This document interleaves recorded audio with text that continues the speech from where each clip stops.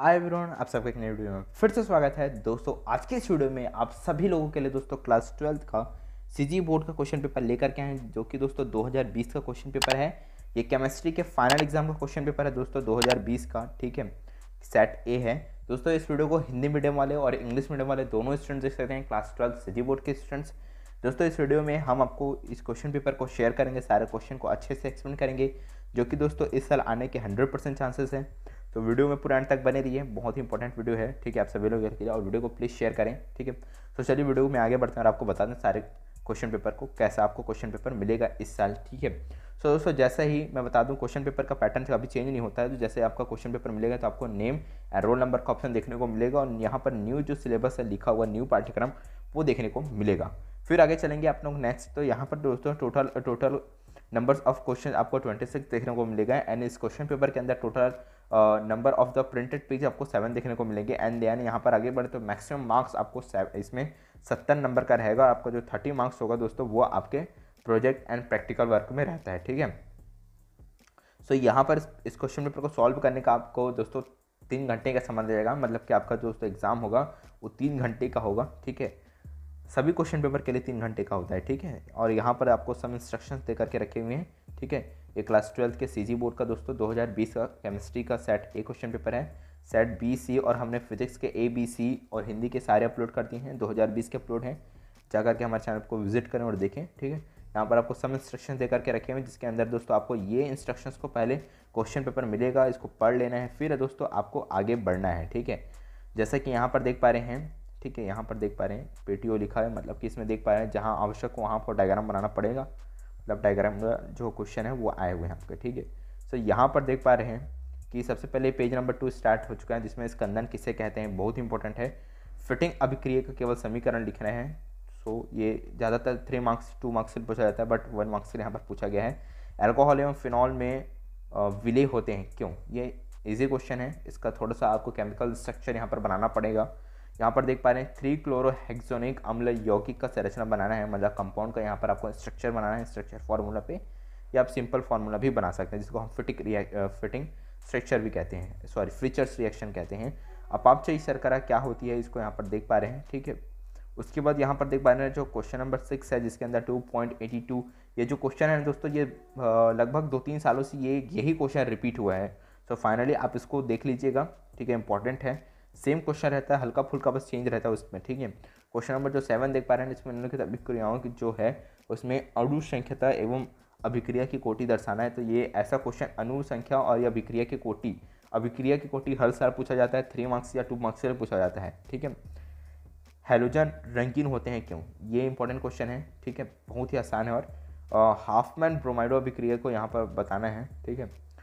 दोस्तों, जितने भी आपके नेमिंग रिएक्शन हैं, जैसे कि हाफ़ मैन हो गया, है ना, और ऐसे बहुत सारे नेमिंग रिएक्शन हैं, है ना वुजाइट हो गया, बहुत सारे ऐसे रिएक्शन हैं जिसको आपको अच्छे से याद कर लेना है। प्राथमिक एमिन का कथनांक जो होता है, वो तृतीयक एमिन से अधिक होता है क्यों क्योंकि यहाँ पर बॉन्ड के ऊपर डिपेंड करता है, ठीक है? यहाँ पर बात करें प्रश्न नंबर जो इलेवन है, देख पा रहे हैं कथवनांक में उन्नयन से आप क्या समझते हैं? ये सबसे इंपॉर्टेंट क्वेश्चन है, यहाँ से कथवनांक में उन्नयन कथवनांक में अनमन इस दोनों में से किसी ना एक में से क्वेश्चन आता ही है दोस्तों, हर साल, ठीक है? थ्री मार्क्स के लिए। यहाँ पर देख पा रहे हैं क्वेश्चन नंबर जो ट्वेल्व है, जिसमें किसी अभिक्रिया का वेग, ताप तथा किस पर निर्भर करता है, ये उतना इंपॉर्टेंट नहीं है बट ये कभी कभी पूछ लिया जाता है। ब्राउनी गति is most important question and कोलाइडी संरक्षण कोलाइडी कर्ण ठीक है? और यहाँ पर इसमें से जो क्वेश्चन हैं, वो इंपॉर्टेंस निकलते हैं, ठीक है? यहाँ पर क्वेश्चन नंबर चौदह देख पा रहे हैं, जिसके अंदर दोस्तों आपको ऐसे के साधारण की गुरुत्वीकरण जो विधि है, उसको समझाना है, ठीक है? ये भी इंपॉर्टेंट है। ये क्लास टेंथ में बेसिकली पूछा जाता है इंपॉर्टेंट क्वेश्चन है। क्लास टेंथ का भी और ट्वेल्थ का भी है। ठीक है? ओजोन प्रबल ऑक्सीकारक है और रासायनिक समीकरण द्वारा इसको स्पष्ट करना है। ठीक है? ये आपका देख पा रहे हैं। और यहाँ पर जो सोलह क्वेश्चन जिसमें सत्रहवें समूह के जो तत्वों के लिए निम्न गुणों की व्याख्या करना ऑक्सीकरण स्टेट एंड इलेक्ट्रोनेगेटिविटी ठीक है? फिर आगे चलें। तो दोस्तों क्वेश्चन के साथ साथ क्वेश्चन में कितने नंबर हैं, उसको भी यहाँ पर देखना पड़ेगा आपको। ठीक है? क्योंकि जैसा क्वेश्चन है जैसे क्वेश्चन में नंबर दिए हैं, वैसे आपको क्वेश्चन को सॉल्व करना है। डीटीटी का आई नेम इसका इसका स्ट्रक्चर जो है मोस्ट इंपॉर्टेंट क्वेश्चन है। प्लीज़ इसको छोड़िएगा मत, ठीक है? और ये दोस्तों, कोई भी एक ऐसा कंपाउंड देता है जिसका आपका बताना होता है, ये अनुचुंबकी या प्रतिचुंबकी है, या उसका नॉमिन करने के लिए आता है, ये ऐसा क्वेश्चन ठीक है? सो प्लीज़ इसको छोड़िएगा मत। यहाँ पर देख पा रहे हैं जो क्वेश्चन नंबर जो उन्नीस है, जिसमें केवल आपको रासायनिक समीकरण लिखना है, जिसे यहाँ पर क्यूमिन क्यूमिन से फिनॉल का बनना ठीक है ये 2020 में आया था और फिनॉल से प्रकृतिक अम्ल ये आया था। फिनॉल से प्रकृतिक अम्ल का बनना 2020 में इंपॉर्टेंट क्वेश्चन है। विटामिन ए तथा सी विटामिन ए और सी हमारे लिए क्यों आवश्यक है इसके महत्वपूर्ण स्रोत बताना है। सो so, विटामिन ए का जो स्रोत होता है वो पालक होता है विटामिन सी का जो होता है स्रोत वो अच्छा हमारे लिए नींबू होता है एसिडिक जो होता है या हम बोल सकते हैं सांत्र जो होता है मौसमी जो होता है वो है ठीक है। और यहाँ पर देख पा रहे हैं जो क्वेश्चन नंबर 21 है जिसमें थर्मोप्लास्टिक एवं थर्मोसेटिंग बहुलक ठीक है ये पॉलीमर्स में से है ठीक है तो आपको इसको ध्यान देना है थ्री मार्क्स के लिए क्वेश्चन है। उसके बाद यहाँ पर देख पा रहे हैं अनुचुंबकीय और लौह चुंबकीय ये दोस्तों मोस्ट इंपॉर्टेंट क्वेश्चन है फोर मार्क्स के लिए है ठीक है। सो so, यहाँ पर देख पा रहे हैं आगे बढ़ते हैं हम। सो so, आगे चलें तो यहाँ पर पेज नंबर पाँच में आ चुके हैं जिसमें अथवा में की है दोस्तों चार नंबर के लिए डोपिंग किसे कहते हैं? मोस्ट इंपॉर्टेंट क्वेश्चन है डोपिंग और बहुत ही आसान है, कोई कठिन नहीं है डोपिंग और चतुष्फल की रिक्तियाँ क्या है इसको आपको बता देना है, ठीक है? उसके बाद क्वेश्चन नंबर चौबीस देख पा रहे हैं, जिसके अंदर का दोस्तों ये फाइव मार्क्स का क्वेश्चन है, ठीक है? सो इसमें संक्रमण तत्वों की सामान्य इलेक्ट्रॉनिक कन्फिग्रेशन बताना है आपको। आप चाहे एन के ऐसे हिसाब से बता सकते हैं, चाहे आप बेसिकली ऐसा बताया जाता है बट आप दोस्तों ऐसा भी बता सकते हैं वन एस टू एस ऐसा समथिंग कुछ, ठीक है?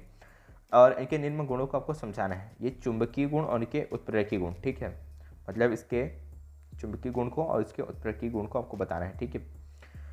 पोटेशियम ड्राई क्रोमेट बनाने की विधि का वर्णन करना है यहाँ पर और निम्न के साथ यहाँ पर बताना है आयरन और S two S explain the properties of the potassium dichromate and write this ion equations of with of the following ठीक से यहाँ पर देख पा रहे हैं जैसा बोला गया आपको वैसे सॉल्व कर लिया। नेक्स्ट पेज में चले तो पेज नंबर छः में। सो so, यहाँ पर देख पा रहे हैं क्वेश्चन नंबर पच्चीस है।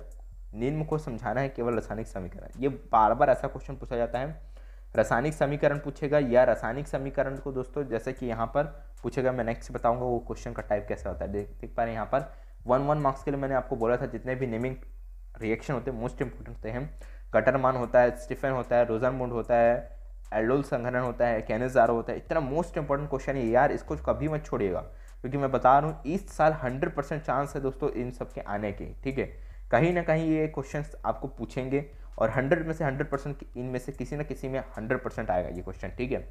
सो so, यहाँ पर देख पा रहे हैं जो क्वेश्चन नंबर और में है क्वेश्चन नंबर ट्वेंटी फाइव के और में अथवा में तो क्या होता है जब ये क्या होता है जब वाला जो क्वेश्चन जैसे आ गया ना ये ऐसा क्वेश्चन हर बार पूछा गया हर साल पूछा गया जब से अपना जो सी e है वो सी e के पैटर्न को जब से फॉलो करना स्टार्ट किया है तब से ठीक है? सो so, ऐसा क्वेश्चन बार बार आता है तो प्लीज़ छोड़िएगा मत। ठीक है, ऐसे क्वेश्चन को जितने भी आपके बुक कुंजी में दिए होंगे उन सबको आपको कर लेना है। मानक हाइड्रोजन इलेक्ट्रोड क्या है सचित्र समझाना ये भी क्वेश्चन बहुत इंपॉर्टेंट है। ये पिछले दो तीन साल पहले बहुत बार पूछा चुका है, पूछा जा चुका है, ठीक है? सो पाँच नंबर का क्वेश्चन है, ठीक है? और यहाँ पर देख पा रहे हैं जो और पे है, विद्युत रासायनिक सेल किसे कहते हैं, है ना? इलेक्ट्रोकेमिकल सेल क्या है और इसकी जो है, ठीक है? क्रिया विधि को आपको समझाना है, चित्र बनाकर डायग्राम के साथ, ठीक है? So what is a electrochemical cells and explain its work with the help of diagram ठीक है? सो यहाँ पर मैंने देख पा रहे हैं जैसे कि हमने ट्वेंटी सिक्स क्वेश्चन देखे थे शुरू में ही। सो so, मैंने सारे क्वेश्चन को अच्छे से एक्सप्लेन कर दिया और बता भी दिया कौन सा क्वेश्चन इंपॉर्टेंट है। बस इसमें इतना ही क्वेश्चन है दोस्तों ट्वेंटी सिक्स आई होप सारे क्वेश्चन और ये वीडियो आपको पसंद आया वीडियो पसंद आया तो इस वीडियो को लाइक कर देना एंड चैनल पर चैनल को सब्सक्राइब कर देना और वीडियो को लाइक करके प्लीज़ शेयर कर देना ज़्यादा से ज़्यादा लोगों तक। जितने भी अभी एजुकेशन ग्रुप व्हाट्सअप बने दोस्तों ठीक है? उन सब पे प्लीज़ शेयर करें। एंड आई होप पसंद आया तो सब्सक्राइब कर देना। तो मिलते हैं गाइस जल्दी नेक्स्ट वीडियो में।